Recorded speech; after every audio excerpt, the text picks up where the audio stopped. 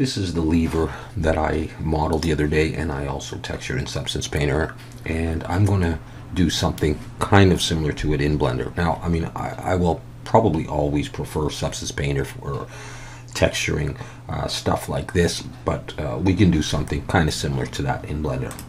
So here's what we have. Uh, I've got the outside with the out material and I've got the inside. And let's go do this in the shader editor here. We're going to create that sort of rusty metal look. A bunch of different ways of doing this. Uh, I'm going to do it kind of a simple way. Control T. We use the object coordinates here and uh, we'll make some changes to that noise texture in just a minute. We're going to add a converter color ramp. Drag the color in here and I'm going to add a couple of spots here and we're going to make this sort of a brownish color and this you probably probably have to tweak uh, maybe a dark kind of red.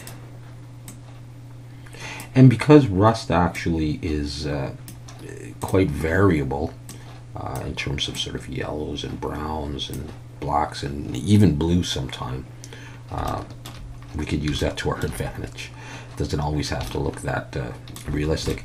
This last key here is going to determine actually the, the color of, of the metal itself. So let's change this to something like 2. We'll bring the detail up to 16 and the detail up to 0.75.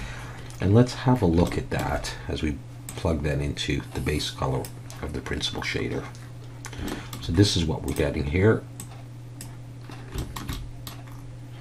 And then again like I say it's up to you to tweak these to the way that you the way that you like these.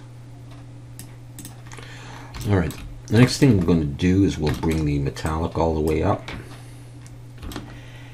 And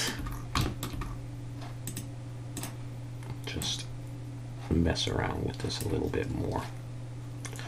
Okay all right, so we're going to need some bump on here, and uh, I want to use this noise texture and another one, so I'm just going to grab this and duplicate it down here, first of all.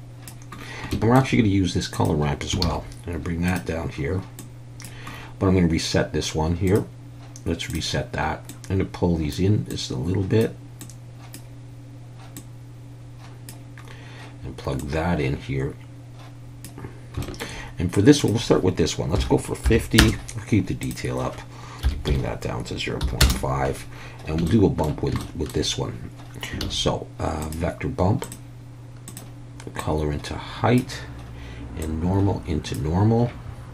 And that's crazy. So we'll go for 0.1. We'll, we'll, we'll start with that and we'll see. Let's watch as I pull this. See, it gets a little bit smoother. So find the spot that you like. Let's get that rust going in, however. And for that one, we're going to need, um, we need another bump. I may take this up here and get rid of it there and leave that going into the bump and use this here going into there take this into the height here. And then what we'll do is we will take this normal, plug it into here, and this one into here. Let's make this 0 0.2. So that is going in a little bit better.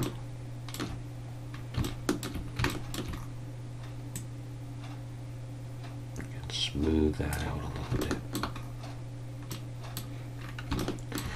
That's a little bit uh, crazy still. So what I'm going to do is bring in another texture, another noise texture here.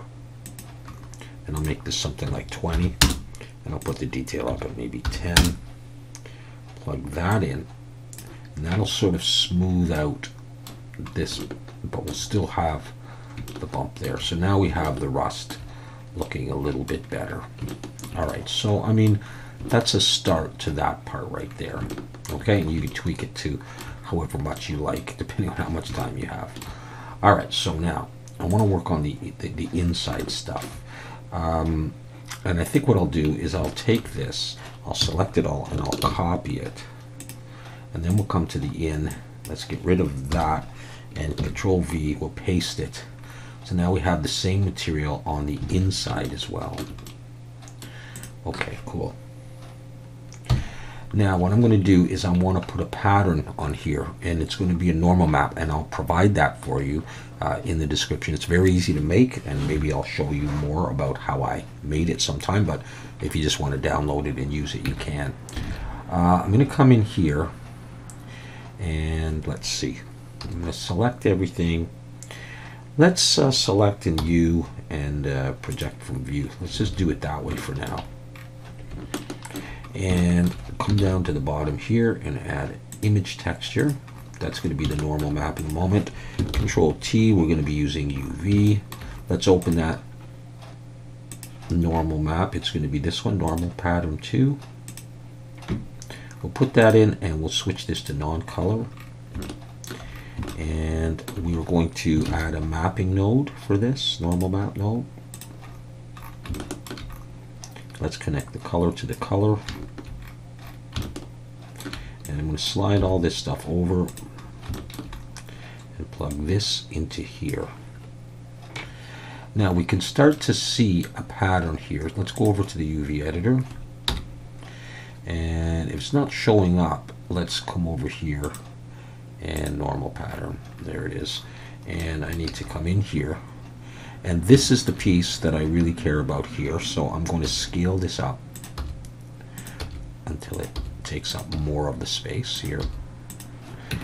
And let's go back to the shading tab. You can see that, but I'm also going to scale it here by two, two, and two in the Y.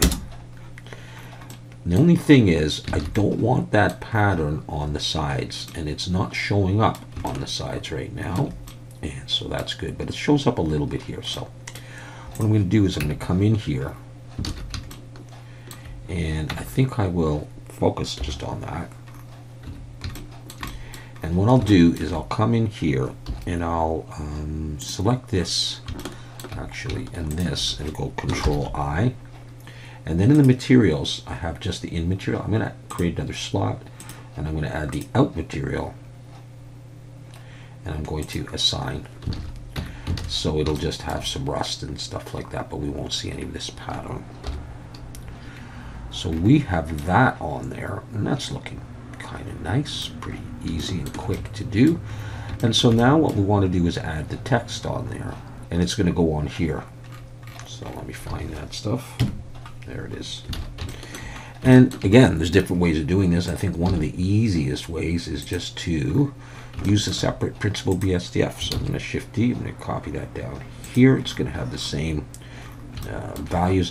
The only thing I might want to actually do is change the roughness maybe to 0.6 on this one and on this one maybe 0.6 and you can decide if you want to do that on the on the in one uh, as well or whatever but let's go back to here and I'm going to add a mix shader put that in there I think I'll plug this one in the top and that one in the bottom all right, so we have that going on so far. Looks kind of crazy. Um, let's just focus on, on that one there. A little bit less loading. All right, so I want to put the word off there. And again, this is another image that I made. It's just a PNG with the word off on it, and I'll provide it for you, or you can make your own. Uh, this is an image texture here, and it's Control T. We're just going to use, um, we are probably going to use UV coordinates, are we? Yes, we are. So uh, let's come in here first of all. And I'm just going to take this and look from the front and I'm going to press U, project from view. So we got that done. And then we'll come over here and this is just going to be a bump. So let's drag that stuff down there. So vector bump.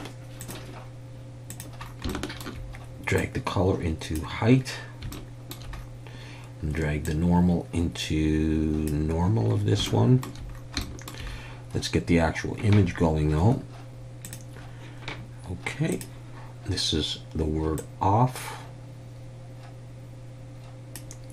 So there it is. bring that in. All right, we're starting to see something. Uh, let's take the color up here and plug that into the base color. All right, so we're starting to get that. Let's go over to the UV editor and let's switch this to the word off. And we have this, so I'm going to scale this up. So the word is roughly in the middle. Go back to the shading tab. We have that there. Only thing I wanted to do is I want to press invert because I want it to go in. Let's bring that back. So we have our text on there now, and we are in good shape. Okay, now, however, we can see some funny stuff out here. select that, and you can see that all of this stuff is UV'd and it's overlapping this right here. So what I'm going to do is I'm going to select this, and then I'm going to press Control I. So I've inverted my selection. I'm going to press G, and I'm just going to drag this outside of, of that and now we have just the word off. We also seem to have some on here. So what I'm going to do for this part is I'm going to select uh, this and this. I'm going to press Control I. I'm going to go into the UV and I'm going to bring back that offward so I can see it. And I'm just going to move this away from off and say bugger off. There we go. Um, you can try different uh, lights. Of course, lighting is going to be very important for this. So maybe what I'll do is I'll come back to here and I'll put in a couple of, of, uh, of point lights. So reasonably quickly, we've been able to texture this uh, in Blender in a similar fashion to Substance Painter. And I think the the most interesting thing about this is the uh, addition of, of the normal map, which would be difficult to do um, in any other way that I know of in Blender. But the, the ability to use normals uh, like this uh, makes it really cool and open to lots of different possibilities. So you can try various patterns or imagine this kind of pattern on a sci-fi floor something uh, could look pretty cool. All right, so I'll leave it at that and you can experiment.